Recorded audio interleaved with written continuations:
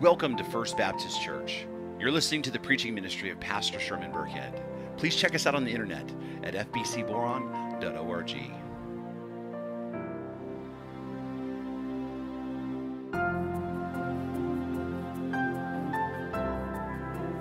So, Romans chapter 8, beginning in verse 18, Paul writes, By the Spirit of the Lord, for I consider that the sufferings of this present time are not worthy comparing to the glory that is to be revealed to us. For the creation waits with eager longing for the, revelate, for the revealing of the sons of God. For creation, for the creation was subjugate, subjected to futility, not willingly, but because of him who subjected it, in hope that creation itself will be set free from its bondage to corruption and obtain the freedom of the glory of the children of God. For we know that the whole creation has been groaning together in the pains of childbirth until now. And not only the creation, but we ourselves who have the first fruits of the Spirit groan inwardly as we wait eagerly for the adoption as sons, the redemption of our bodies. For in this hope we were saved. Hope that is seen is not hope for who hopes for what he sees. But if we hope for what we do not see, we wait for it with patience. This is the word of the Lord. Charles Spurgeon, considered the prince of preachers, once wrote Stand still, keep the posture of an upright man, ready for action, expecting further orders, cheerfully and patiently awaiting the directing voice. And it will not be long ere God shall say to you, as distinctly as Moses said it to the people of Israel Go forward. So I want to welcome back to our series titled On Waiting on God. And and we are in this series because we live in this tension between the reality that we are impatient and we hate to wait, and the fact that God created us to do just that, which is to wait on Him. We live in this tension that, that, that waiting is how we are designed, but our flesh and our nature hates it and rebels against it and resents it. But the fact still remains we were created by God to wait on Him. And in the first week, we began asking the question of why we need to wait on God. And, and the short answer is God is everything that we are not, and He is everything that we need. And then in the second week, we began talking about waiting on God when our lives change, because if there's anything that's constant in life, is the fact that everything changes. And then last week, we talked about waiting on God when life is hard, because another constant in life is the fact that we are that we all face difficulties in our in our lives. Now, if you've not been here in the last three weeks or so, um, we have covered a great deal of ground, and I would encourage you to go back and listen to the, those messages if you if you have time. And you can do that by going to our church's YouTube channel, or you can go to our SoundCloud page, and uh, the the links to those are in your bulletin.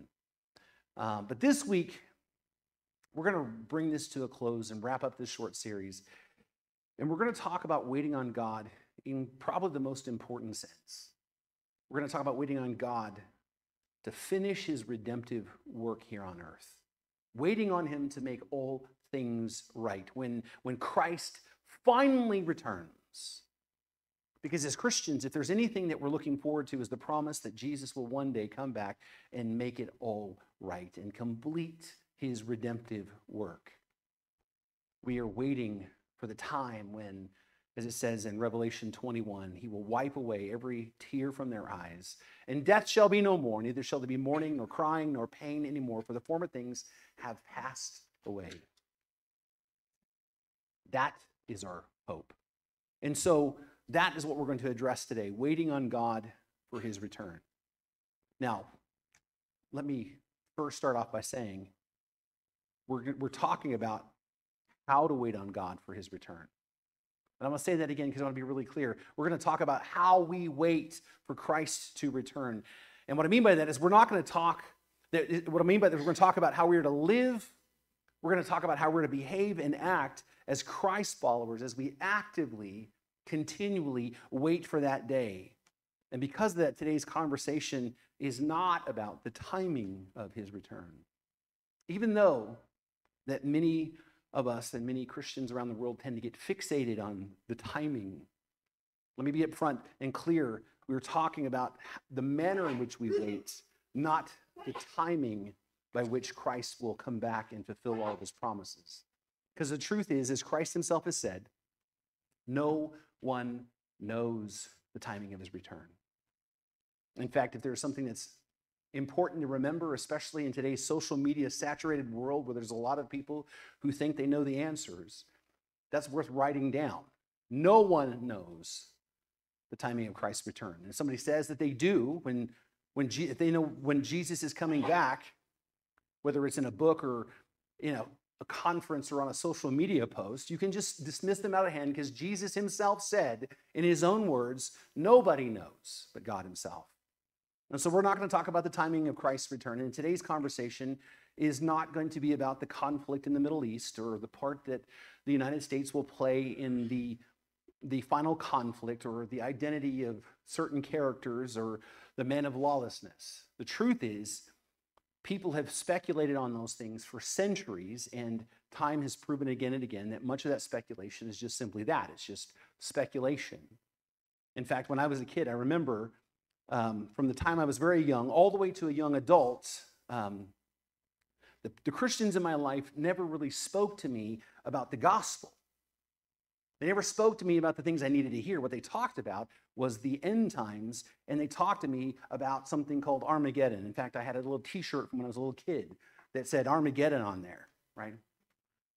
Uh, I was surrounded by Christians, but nobody really actually talked to me about the things I needed to know, which is knowing the living God. And nobody talked to me about the power of God to save, which is the gospel of Jesus Christ. They talked to me about things like the Antichrist, and, and some have even said, in their own words, that it was Nikita Khrushchev. Some said that it was Ronald Reagan, some said it was Mikhail Gorbachev. But, in, but alas, they've all been proven wrong. And even today, people still speculate. Some have said that it was Barack Obama. I remember when people said that. Today, that people will, will stand up and you know, affirm that it's Donald Trump. And some will say that it's Pope Francis. And even some will even say that it's Bill Gates. But throughout history, there's been a lot of speculation on these things. But the truth is, nobody really knows those answers no matter how passionate a person may feel, no matter how many books they write, no matter how many conferences they speak at, and no matter how many people follow them on YouTube or Facebook or whatever. And with that being said, that's not the stuff that we're going to talk about today. We're not going to talk about the differing views of eschatology or the theology of the end times. And that's certainly an important conversation to have at some point, but that's not the focus of today's message. Today, we're not going to talk about things like preterism or premillennialism or interadvental amillennialism or hyperdispensationalism or covenant theology or 1689 federalism or a host of other theological words and perspectives. Today's concern isn't how the end will come or even when. Today is how we are to live knowing he will come. How are we to carry on waiting for Christ to finish what he has started? How we are to conduct ourselves as followers while we patiently wait and endure in this life for that time. How we're supposed to live as we wait for the return of Christ, whether it's tomorrow or a thousand years from now. And I, want to share with you what that looks like to actively wait on God to come back. And I have, I have a number of texts. We started with one, but um, there's a number of texts I'd like to share with you this morning that I think that would really give us a clear handle on what the Christian life is supposed to look like as we endure and wait, as we've been designed to, for God to do what God needs to do in a way that honors Him. And the very first text I want to look at is what Paul says in Titus chapter 2. Titus chapter 2, um, beginning in verse 1, the apostle writes, For the grace of God has appeared, bringing salvation for all people, training us to renounce ungodliness and worldly passions and to live self controlled, upright, and godly lives in the present age, waiting for our blessed hope and the appearing of the glory of our great God and Savior Jesus Christ, who gave himself for us to redeem us from all lawlessness and to purify for himself a people for his own possession who are zealous for good works. In this text, there are a couple of things I'd like to point out that, that I think will help us to understand how it is that we are to endure and patiently wait for Christ to make things right. Number one, Paul says the grace of God has appeared and is training us. The grace of God is training us for a purpose.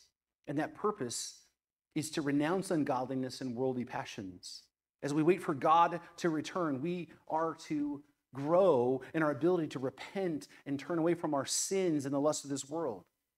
The, the grace of God trains us for that, and it trains us to live self controlled, upright, godly lives in this present age. It does so as we wait for Christ. Right? Waiting on Christ's return means training and growing by the grace of God in order to renounce and repent and turn away from sin and the worldly passions that tempt us. And, and, and we are to learn while we wait to live self controlled, upright, godly lives, which means we're to become more like God who is holy. And so the short answer is waiting on God is about growing in personal holiness. Right? And, and I want to be careful here because when I say things like that, sometimes people will fall into one of two extremes. One will say, wait a minute, you mean to say that we need to do something to be saved. That is not what I'm saying at all. We are saved by grace alone, through faith alone, in Christ alone. But that transformation and that new nature is, a, is to enable us to grow in our sanctification towards holiness. Now, the other extreme is those then who say that means that you better do all the rules and that is not what we're talking about here. The thing that we need to see is waiting on God is about growing in personal holiness. And it's about progressively, by the power of the Spirit and through the, through the, the corrective nature of the word, to kill the sin in our lives through grace and seeking to live obedient to God's word, not as the root of our salvation, but as the fruit of our salvation.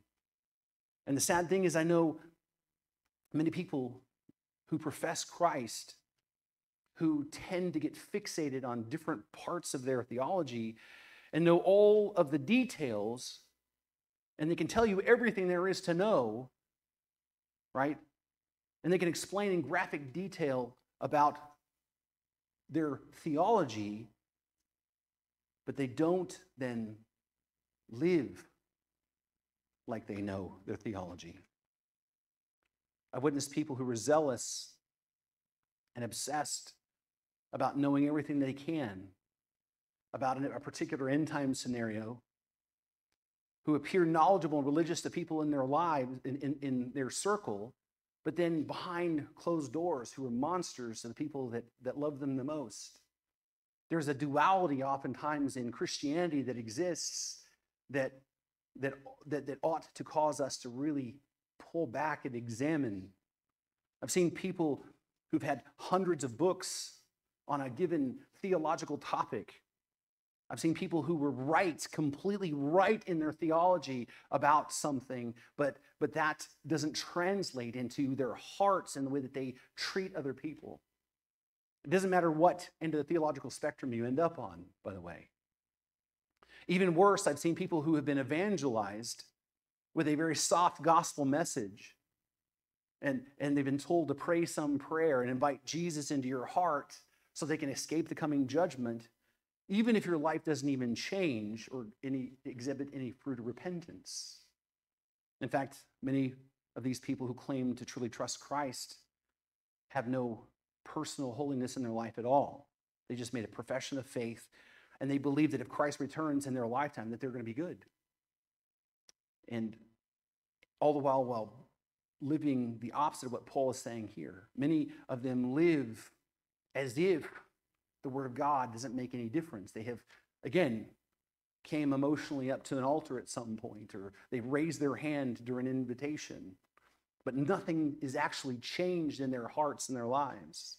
In fact, I had somebody come up, uh, pull up in the parking lot here, and the guy popped out of um, his truck. Actually, when I say popped out, he kind of stumbled out, and he knelt on the back steps as if he was going to pray. And I just approached him and asked if I could help him, and he said, and he and in in his he basically said, not really, and I could tell that he was he was very inebriated.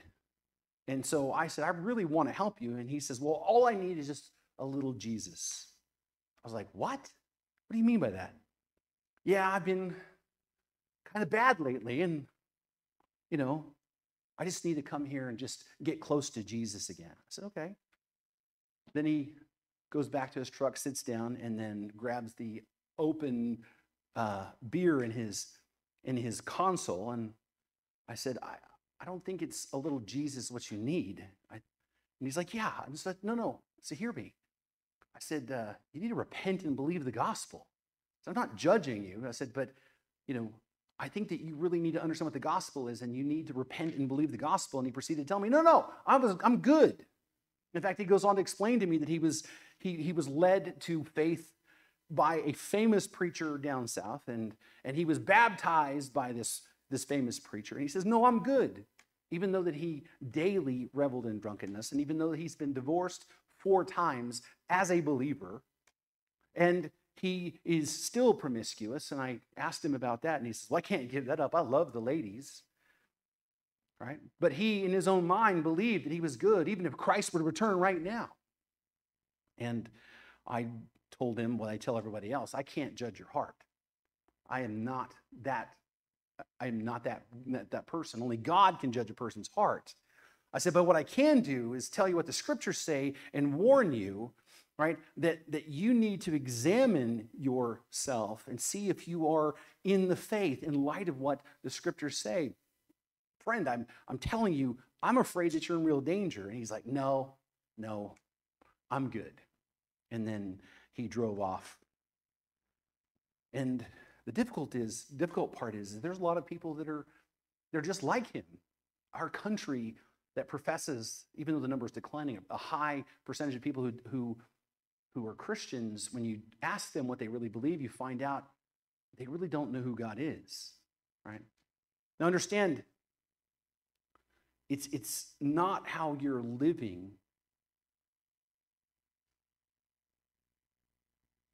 It, it's, it's, it's not how we that's not how we're to live as we wait for Christ. Again, I'm not preaching any kind of legalism, but if you've met the risen Christ, if Christ has truly come into your heart, if you have been regenerated by the power of the Holy Spirit, and you have seen who God really is, something in you begins to change. And we are called by the scriptures unapologetically and unambiguously to walk in personal holiness before God, waiting for Him to return. And, and we are, by the grace of God, to seek to obey Him and pursue holiness in our personal lives. And again, I want to be really careful here. This is not about you writing out a list of things that you need to do and don't do. It's about growing and understanding His Word and seeking His guidance and His help to, to put to death the sin in your life and to follow Him. But the, by the way, I tell people all the time before you master the book of Revelation, you need to master the book of Romans. Before you master any you know, particular eschatology, the most important thing to master is the gospel of Jesus Christ.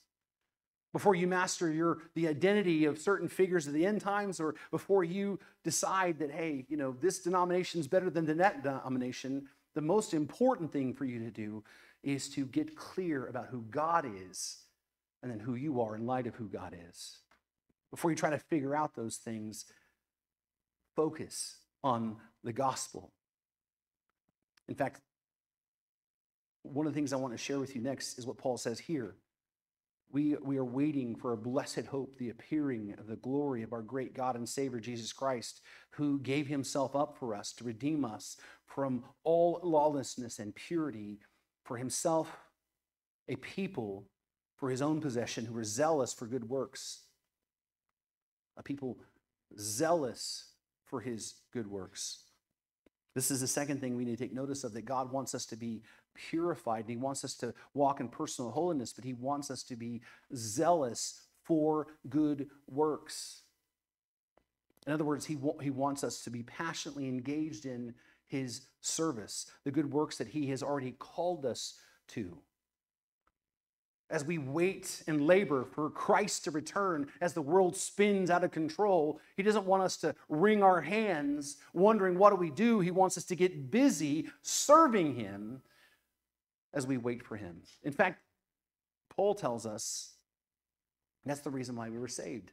Ephesians chapter 2, beginning in verse 8, Paul says, For by grace you have been saved through faith. And this is not your own doing, it is a gift of God, not the result of works, so that no one may boast. For, or because, we are his workmanship, created in Christ Jesus for, right? That word for tells us there's a purpose for, for what he's done for us, right? We were created in Christ for good works, which God has prepared beforehand that we should walk in them. God has already planned things for us to be doing as we wait on Christ. He has good works for us to accomplish.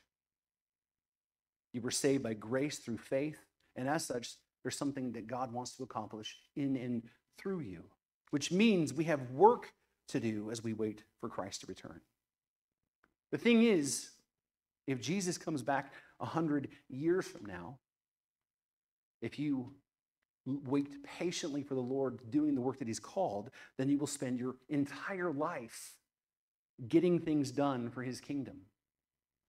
But if Christ comes back tomorrow, then He will find you readily engaged in doing the work that He's called you to do. Either way, whether tomorrow or a hundred years from now, God is glorified in what he's doing through you. So we wait on God to train us in godliness, and we wait by getting busy doing the work that God has called us to do. And now the second text I want to share with you is from the apostle Peter. 2 Peter chapter 3 beginning in verse 1, Peter writes these words. This is now the second letter I'm writing to you, beloved. In both of them I'm stirred up. I, I am stirred up your sincere mind by the way reminder that you should remember the predictions of the holy prophets and the commandments of the Lord and Savior through the apostles, knowing this, first of all, that scoffers will come in the last days, scoffing, following sinful desires. One of the things that I think that sometimes we can get confused about is we see things like that and we want to read that in our current context, but the truth is, there have been always scoffers, scoffing, and people pursuing their sinful desires. Peter's point isn't to tell you when the end is going to happen. Peter's point is to tell you that we need to be ready to meet Christ.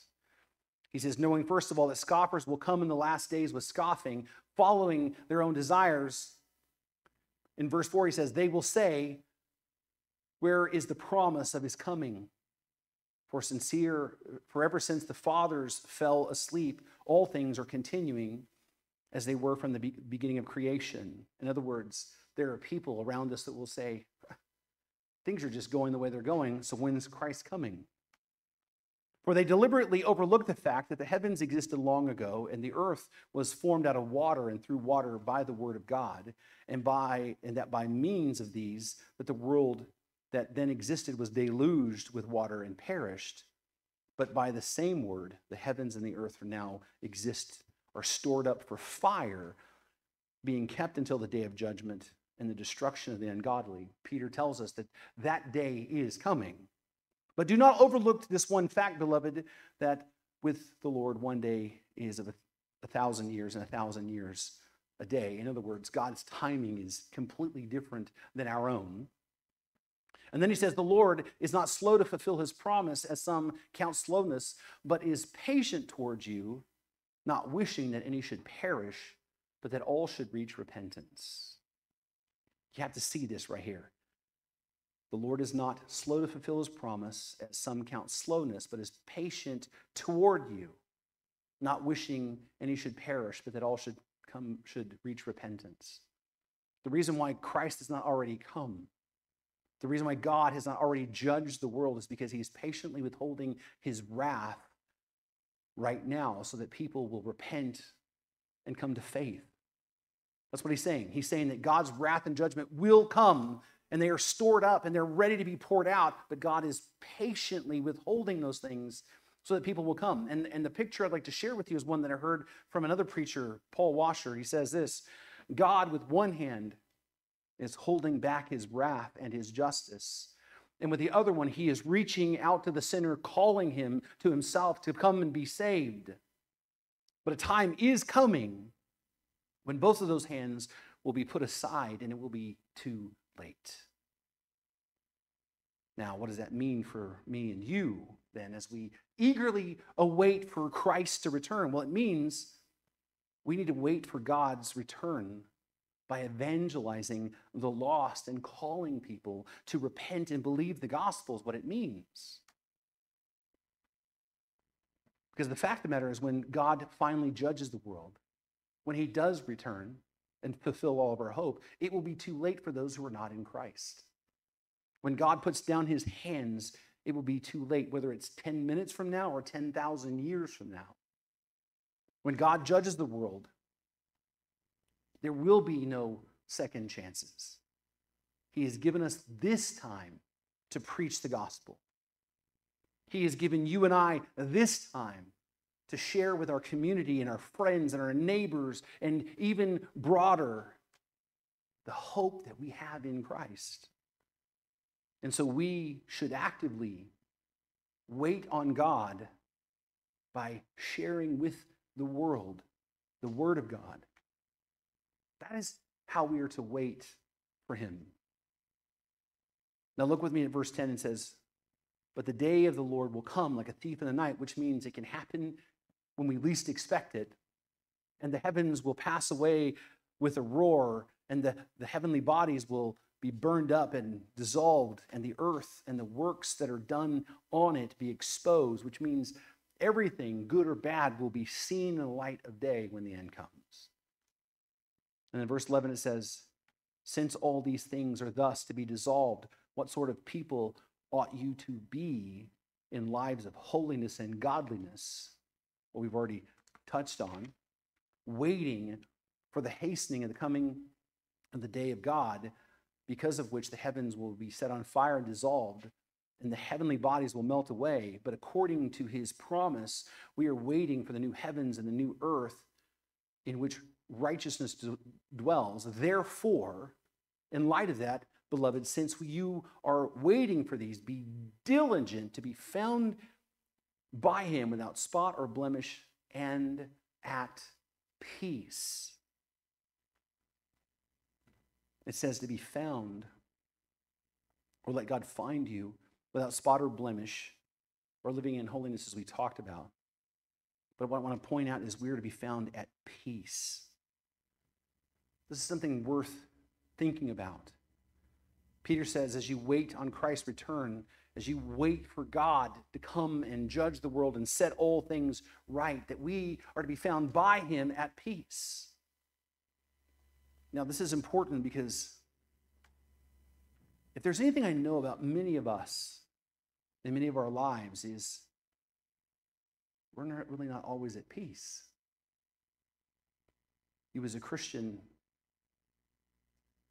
when Christ comes, you're supposed to be at peace. But again, right, right now, many of our brothers and sisters in Christ are completely stressed out, not at peace. Many of them are, are frustrated. Many are, are worried, sick about the future. 2020 and COVID 19 really exposed the fact that a lot of people are not at peace. The war in the Middle East right now that's going on reveals that a lot of people are not at peace. Our current political climate and the coming election and the fear of death and the worry about money all reveal that many of us Christians are really struggling to be at peace.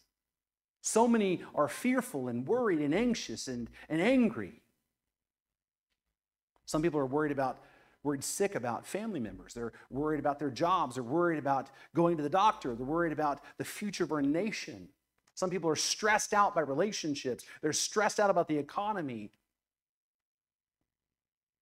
People are stressed because people don't ag- agree with them in everything that they have to say. And by the way, that goes for both sides of the spectrum. Some people are wound up and stressed out about politics because of this, this election year. Some people are in gut wrenching, I mean, I've heard it, I've seen it, in gut wrenching, anxious turmoil at the prospect that Joe Biden just might be elected again. Other people lose sleep at night thinking about Donald Trump ascending to the Oval Office once again. All of whom are forgetting one immutable fact that it is God who puts people in power. Many people are just not at peace over these things.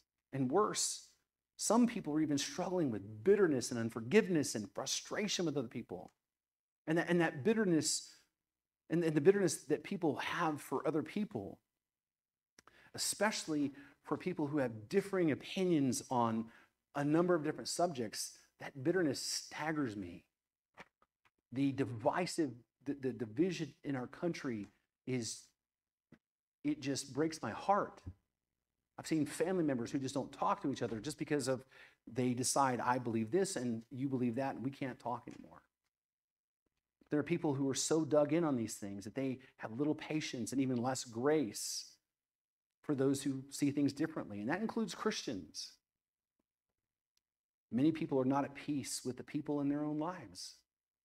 But here it is that Peter says, right here in his letter, right along with being spotless, he says, Be found at peace. When Christ returns, let him find you at peace. We're to be at peace as we wait on God. And that, that goes for all of the ways that we wait on God. When we wait on God in our devotional time, when we wait on God when life changes, when we wait on God when life is hard, and when we're waiting for his return. In all of the things that we, in the ways that we wait on God, we're to strive to be at peace as we wait on Him. But how? Okay, Pastor, you're telling me, you beat me up on this. I confess it. I'm not at peace. How? How do we get there? Well, the answer is the same as, it, as when we started this little series. It's about what we know about God, it's about our theology of Him. You see, if we truly believe and understand that God is in fact sovereign and in control, and He knows all things, and that he is good and that he works all things out for the good of those who love him, and we truly understand that we're dependent upon him in every way for everything anyway, then peace should then follow. Because really, what is your choice in all of these things?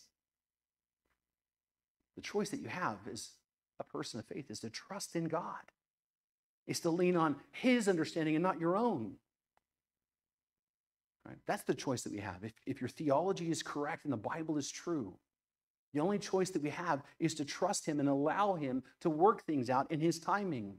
That's how we have peace, is we surrender it to His control.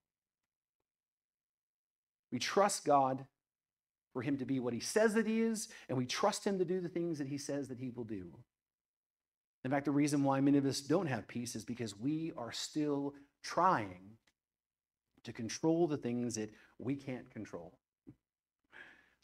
Let's just all admit it. There is a control freak in all of us. Come on, right? The reason why you don't have peace is because you're not fully trusting in God to handle it. The reason why you don't have peace is because you keep trying somehow to sit back on that throne in your own heart where God belongs. You keep forgetting that God is sovereign and in control, and you, my friend, as powerful and as smart and talented as you are, you are not sovereign and in control. We're to be found at peace because being at peace is the fruit that of a heart that trusts in God. Remember what he said if God is for us, who could be against us? God has promised to never leave us or forsake us. He has promised to work all things out for the good of those who love him and are called according to his purpose. Peace is the fruit of the heart that fully trusts in God. We're to be at peace as we expectantly wait for his return. And then in verse 15, it continues, and count the patience of our Lord as salvation. Just as our beloved brother Paul also wrote to you according to the wisdom given to him, as he does in all his letters when he speaks in them of these matters. There are some things in them that are hard to understand. By the way, I want you to notice, even the Apostle Peter said, sometimes what Paul says is hard to understand, okay?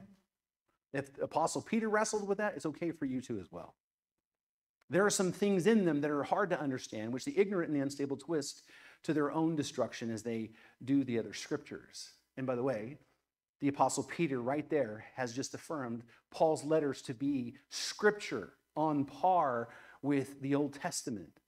And then he says, You therefore, beloved, knowing this beforehand, take care that you do not uh, you were not carried away with the error of lawless people and those who lose, and excuse me, that you are not carried away with error of lawless people and lose your own stability, but grow in the grace and knowledge of our Lord and Savior Jesus Christ. It says right here to take care that you're not carried away with error of lawless people and lose your stability. In other words, you need to be careful to not get caught up and swept away by false doctrine and false theology. I'm going to tell you right now if you survey social media, YouTube, TikTok, whatever thing, you will find there are a lot of people out there who prop themselves up as teachers that are, that are false teachers. And he says, don't get caught up in false teaching. That way you don't lose your theological stability.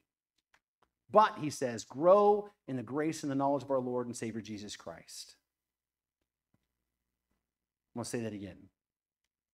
Grow in the grace and knowledge of our Lord Jesus Christ. Peter makes it clear that we need to protect our hearts and minds from false doctrine by growing in the grace and the knowledge of Jesus Christ.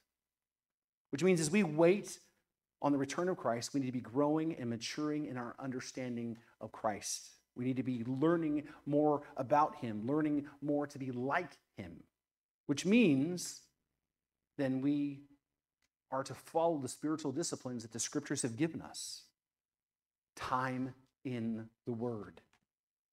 I can't overemphasize that. I've been preaching those words right there from the moment that I got into the pulpit. You need to be in the Word, reading the Word, studying the Word, meditating on the Word hearing it preached.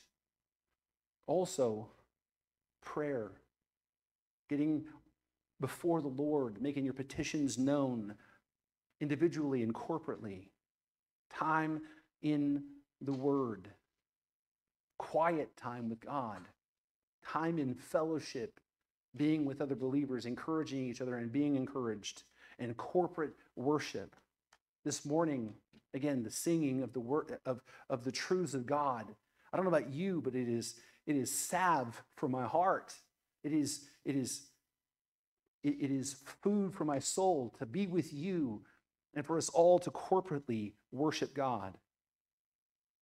And one of the most important ways that we wait for God is that we get busy learning more about Him and to be like Him. Now, the last text I want to share with you is the one that we opened up with, beginning in beginning in Romans chapter 8 uh, and verse 18. Paul writes, For I consider that the sufferings of this present time are not worth comparing with the glory that is to be revealed to us. Waiting on God is about anticipating the fulfillment of God's promises.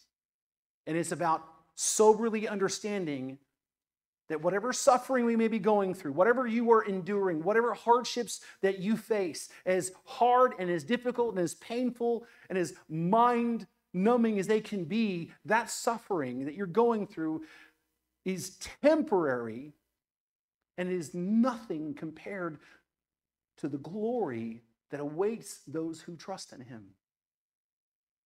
The promise the Christian is not that life this side of heaven is going to be perfect. The promise is, however bad it is, multiply that by an infinite number, and the glory that awaits us is more than you can imagine.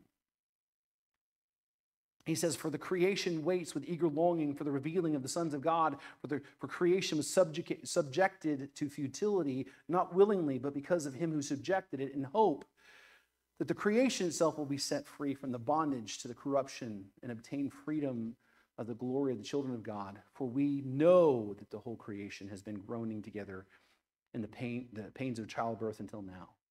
All of creation eagerly waits for God to set things right. The moment sin entered the world, all of creation was sub- subjected to that curse. And not only creation, but we ourselves who have the first fruit of the Spirit groan inwardly as we wait eagerly eh, for adoption as sons, the redemption of our bodies. For in this hope we were saved. Now, hope that is seen is not hope, for who hopes for what he sees, but if we hope for what we do not see, we wait for it with patience. Which is the last two things I just want to share with you and make note of about waiting on Christ. We are to wait in patience, and we're to wait in hope. As the world continues to, to turn, as the darkness continues to grow, as we continue to face difficulties, Christians need to be patient and we need to keep the hope that we have alive. We need to continue to remind ourselves and think about the hope, which is the gospel of Jesus Christ. Paul said our suffering is not worth comparing to our hope. If that's true, then why do so many people despair? Why do so many of us lose heart? Why do so many of us get discouraged by the things that are happening? Why are so many of us so fearful? It's because we forget to keep our eyes on Christ and keep the hope that He's given us alive. You see, our hope is not to live a pain free, problem free life here and now. And any preacher who would say that it is, then you just need to run. Because nowhere in the scriptures does it tell you that. Our hope is not to be rich materially, right? I mean, let's just be honest. We all could use a little more money, right? No one, none of us are going to turn down a raise, right? We already could spend it like right now without thinking about it. But I'm going to tell you right now, having more is not where our hope is. Our hope is not living in a way where everything was perfect. And our hope is not getting our way all the time, even though we think that it might be. Our hope is bigger than all of that. It's bigger than this in this life. Our hope is not to have all of our own problems solved. Our hope is, is when this life is over, either by our death or the return of Christ. Our hope when we meet God is that we will hear the words, Well done, good and faithful servant. Welcome home. Our hope is when we stand before God on that last judgment day and all of the charges against us are read, we hear the verdict, not guilty because Christ has already paid the price for us. Our hope is when we step across the line into eternity that we will forever stand in the life giving presence of God, where there will be no more tears or pain or sorrow, where we have a perfect, unstained relationship with all those who trust in Christ, where we'll be united, reunited with those that, that, we that we love those who have gone before us, those that we've lost too soon. We'll be reunited with our moms and our dads and our grandparents and our children. And even better, never to lose them again, ever in all eternity. That is the hope that we hold on to. Our hope is 100% Jesus Christ. And when we despair and when we lose heart, it's because we've misplaced that hope and we put something else in its place. But let me remind you our hope, as the hymn writer wrote, is found in nothing less than Jesus' blood and righteousness. We dare not trust the sweetest frame, but wholly trust on Jesus' name. On Christ, the solid rock, we stand. All other ground is sinking sand. All other ground is sinking sand. And so, what do we do? Well, if you're not in Christ, your only hope is Jesus Christ. No matter what you pursue in your life, you will find that life is one big empty hole and you will not be able to fill it. You might think you can do it momentarily, but I promise you, you will find yourself empty again and again and again. Whether it's food, whether it's money, whether it's fame, whether it's lust, whatever it is, whatever you decide to fill your heart with, you will find that it's fleeting and it will not satisfy you and it will not carry you through the difficult times of your life. And that the truth is, you were created by God for relationship with Him, and that relationship's been severed. And there's nothing you and yourself can do about it. But God, in His grace and mercy, sent His Son, Jesus Christ, into the world to live a righteous life, perfect, spotless, on your behalf.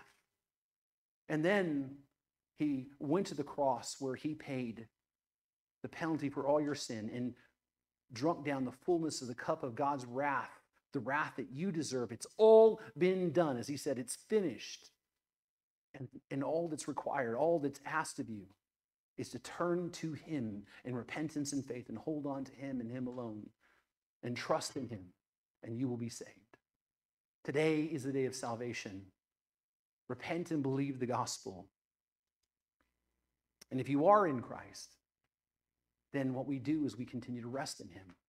That's the secret to worry, is trusting in Him for who He is and remembering that the biggest battle that we'll ever face is already won.